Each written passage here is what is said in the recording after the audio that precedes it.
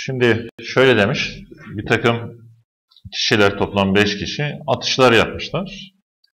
İsabet ettirdikleri ve kaçırdıkları sayılar verilmiş. Hangisinin isabet oranı en fazladır diye soruluyor. Tabi oran bulacağız ama aslında direkt söylemek mümkün. Hepsi 20 atış yapmış. Ali 20 atış, Ahmet toplam 20, 20, 20. 20 atış yapmış. Bunların içerisinde en çok isabet ettiren Can. Aslında isabet oranı en yüksek olan Can.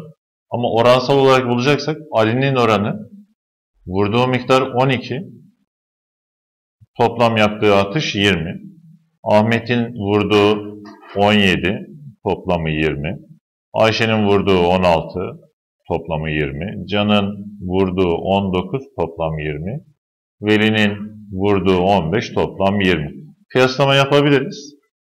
En büyük olan 19 bölü 20 olacak. Yani en çok vuruş yapan, isabet oranı en yüksek olan Can olacak.